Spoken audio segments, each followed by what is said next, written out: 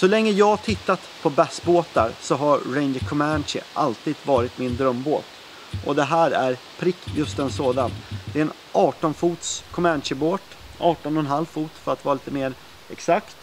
Den är ungefär 240 cm bred och väger ja, ungefär 1500 pund. Så säg, ja vad kan det bli? Någonstans 700 kilo. Med båt, motor, utrustning och allt som hör det till och full tank så landar den här båten på cirka 1300 kilo när den är maxlastad. Om vi börjar i akten på den här båten så har jag en 150 hästars Mercury 4-stroke motor som är på en jackplate. Alltså ett tillbehör som gör att motorn är höj och sänkbar. Eh, och motorn också hamnar en liten bit bakom båten.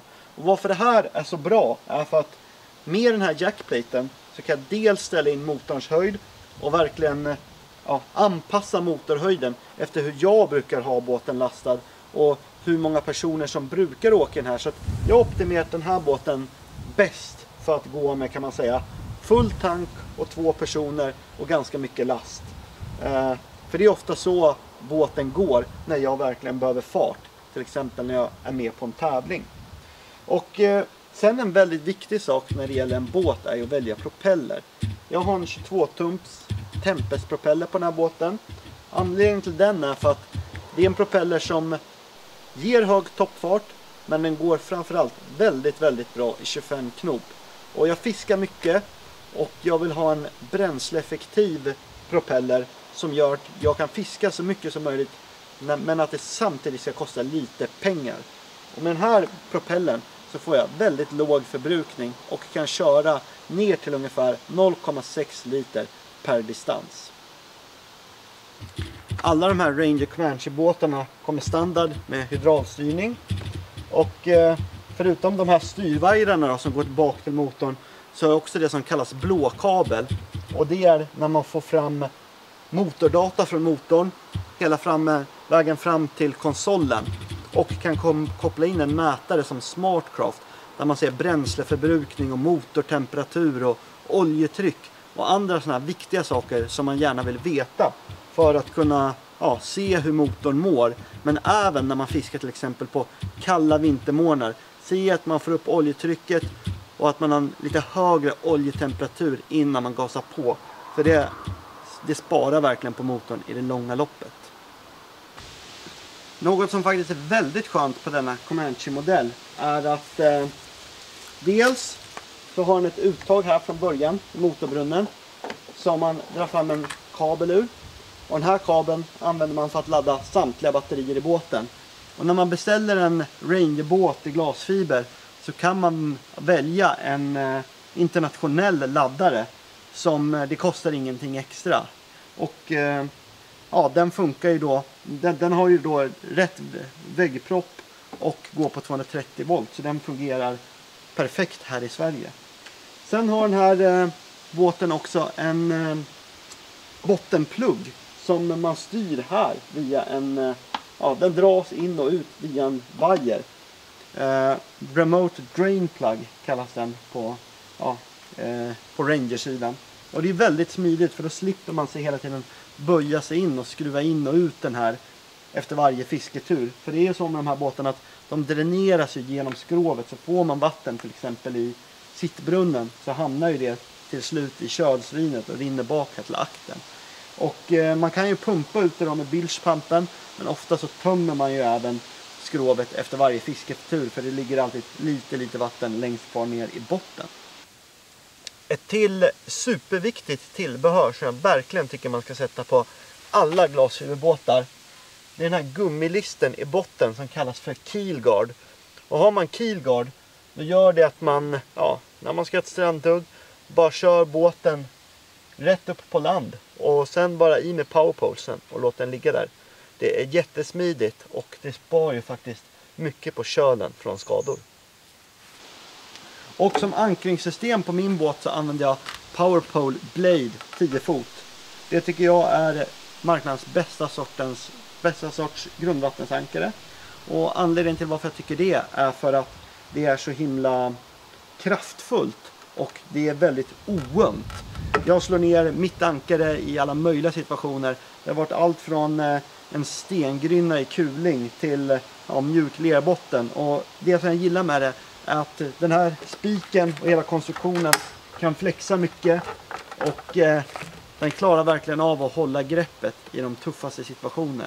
En otroligt bra sak med de här moderna bassbåtarna är att de alla har någon form av Rapid Planning System. Alltså att de har ett skrov som går väldigt snabbt upp i plan. På den här Comanche-modellen så har den faktiskt en... Eh, man kan säga att kölen slutar en bit in här på skrovet. Och sen så är det en eh, upphöjning här i skrovet.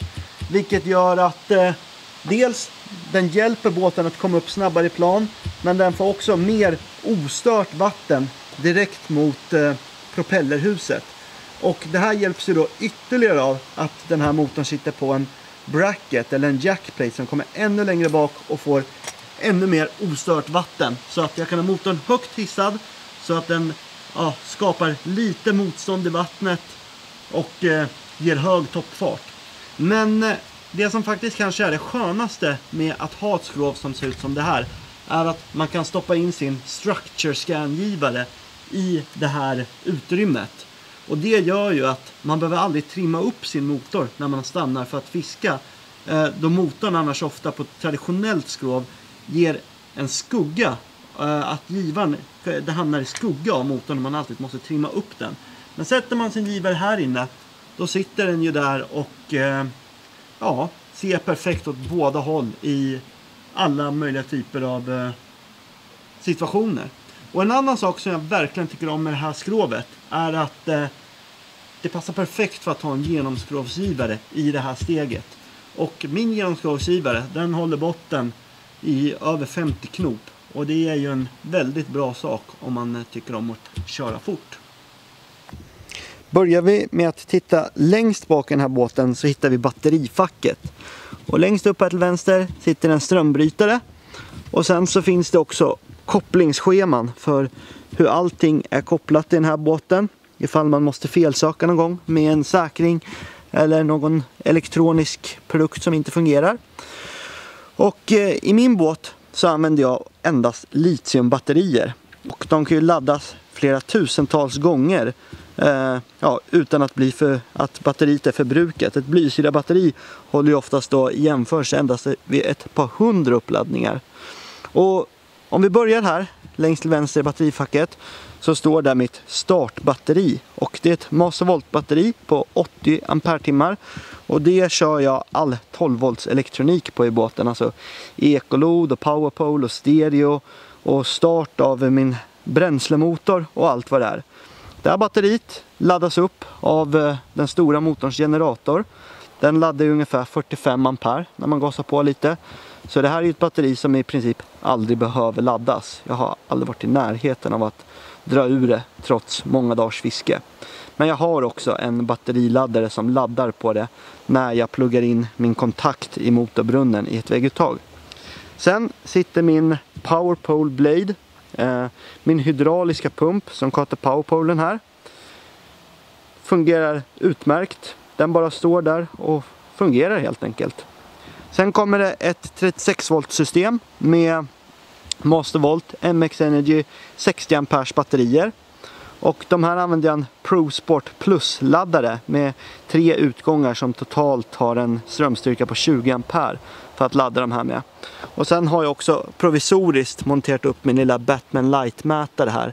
Eh, senare så kommer jag ha två stycken i pulpeten. Det är bara att jag har inte hunnit med att dra dem ordentligt.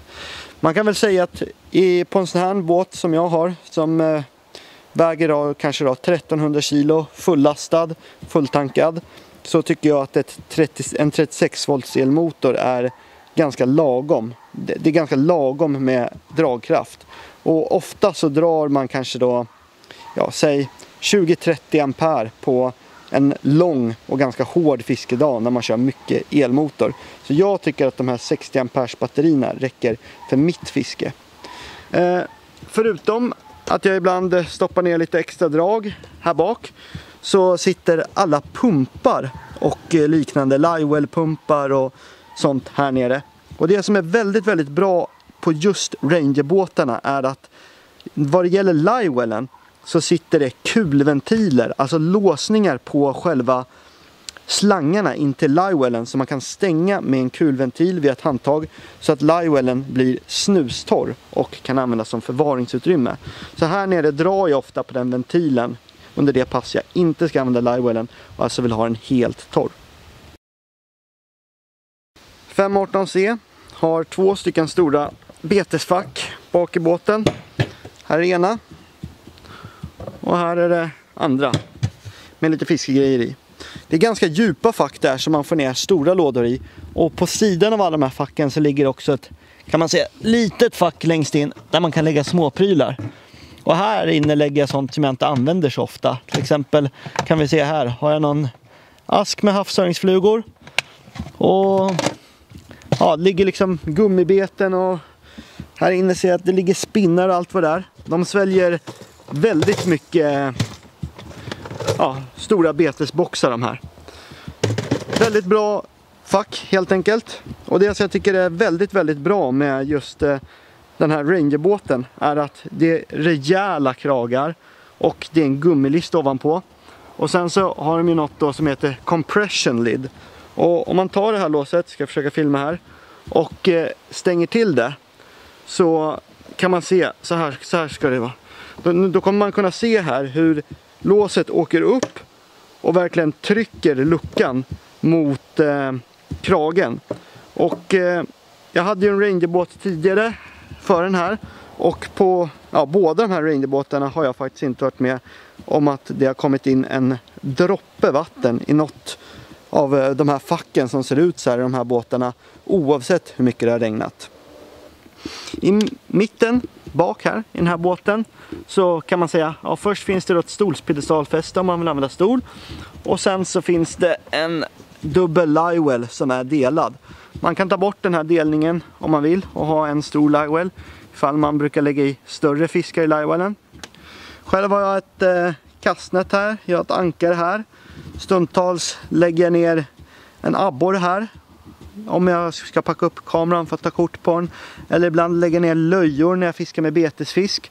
Och ofta som jag var inne på tidigare så drar jag i den här kulventilen så att livewellen alltså blir helt torr och så använder jag den här som förvaringsfack.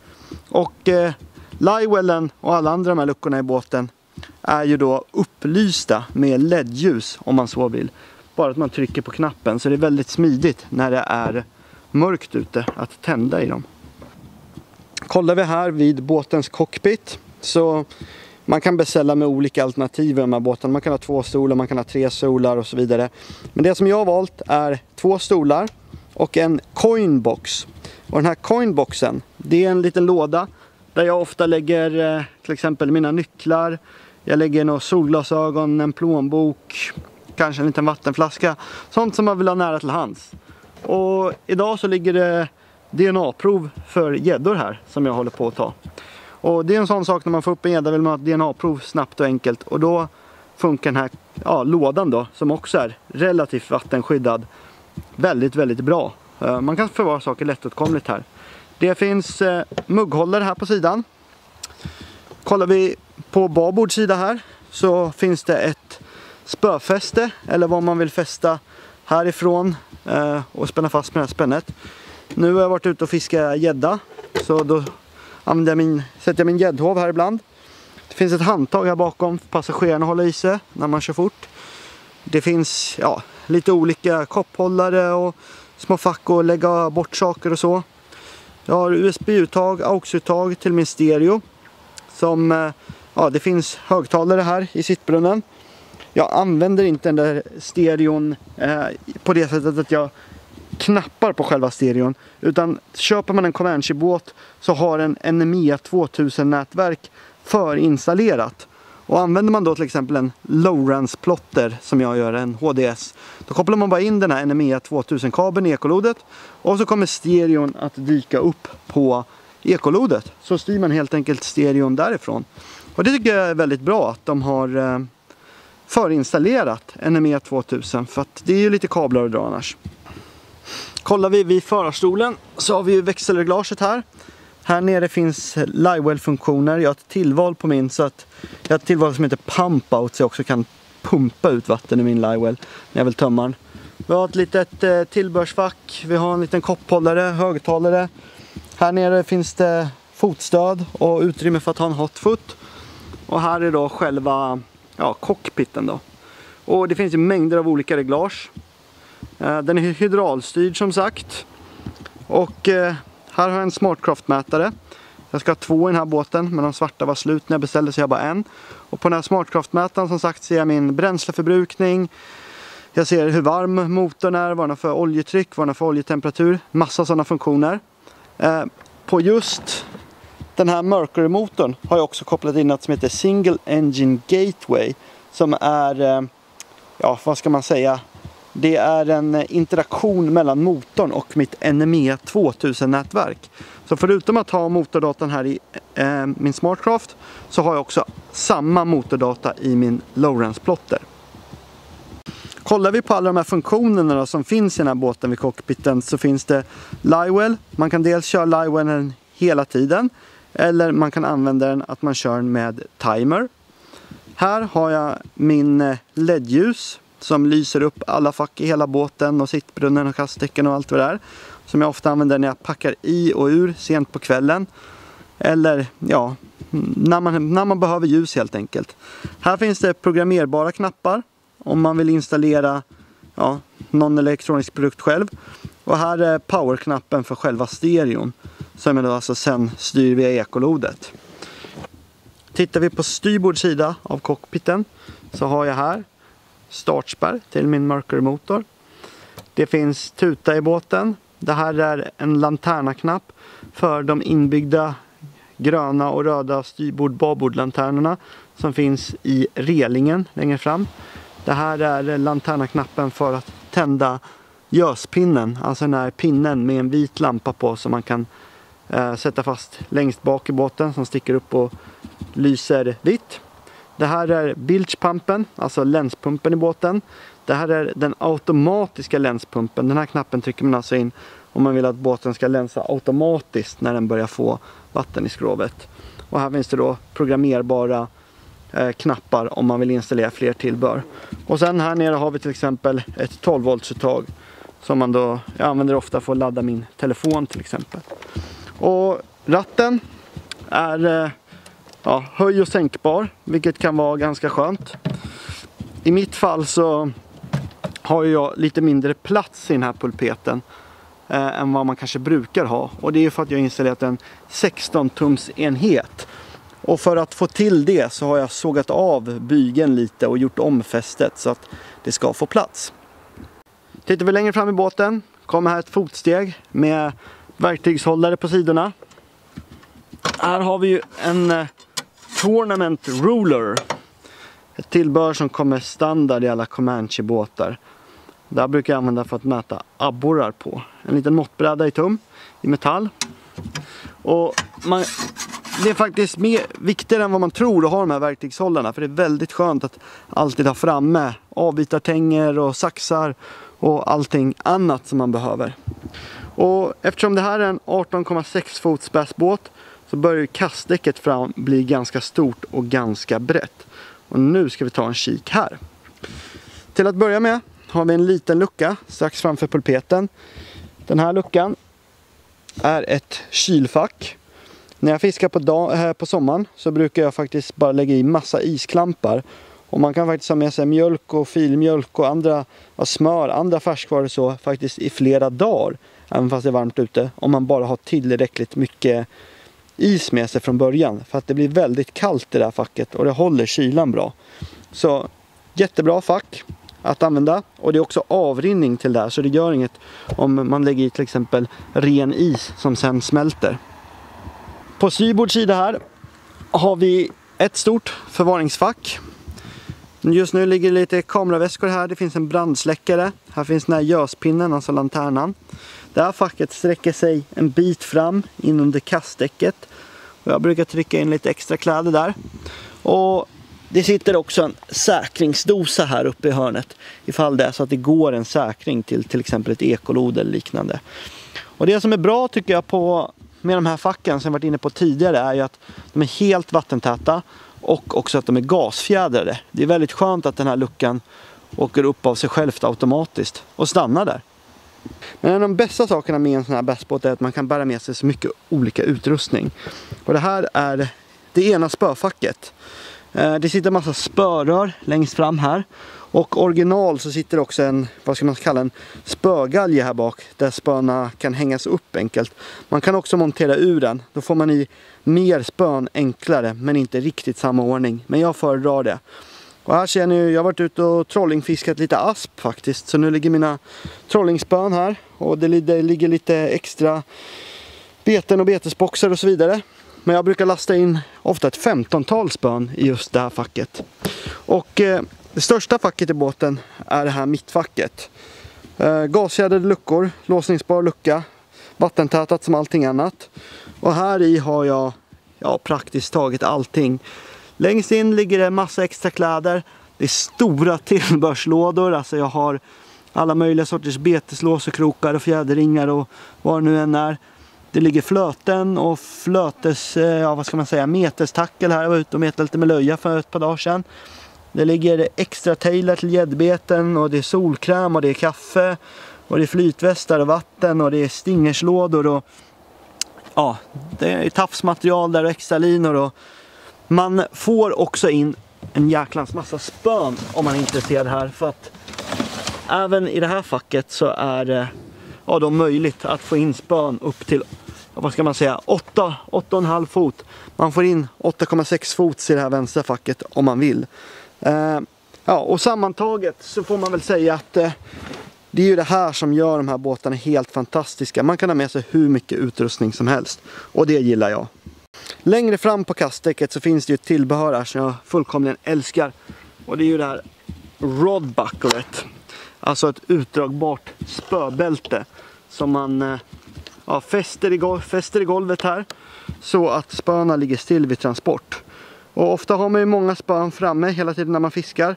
Och det är väldigt skönt att bara dra fram rodbucklet och spänna fast dem under transport, transporterna. Och den här båten har även fyra knapar, två bak, två fram. Och det är så kallade pop-up knapar här som man fäller upp. Fungerar väldigt bra. Och här sitter ju också de här LED-ljusen som jag pratat om på insidan av relingen. Kollar vi ännu längre fram i båten så kan vi börja med att vi har ett eh, litet verktygsfack här. Sen så har vi ett tray, alltså ett fack för att ta fotpedalen på motorn. Och eh, det är ju väldigt bra för ser man på höjden så hamnar ju ungefär den här pedalen i samma höjd som golvet.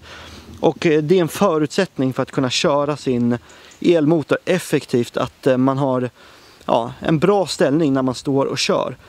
Och det är ett väl tilltaget bra fack här med färdiga genomdragningar för att dra in kablar och annat.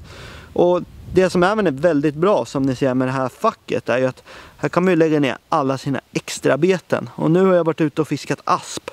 Det var svårt aspfiske kan jag säga. Vi fick en fisk. Och det är därför jag bytt så mycket drag. Men det är fantastiskt att kunna lägga ner dem där utan att de är i vägen.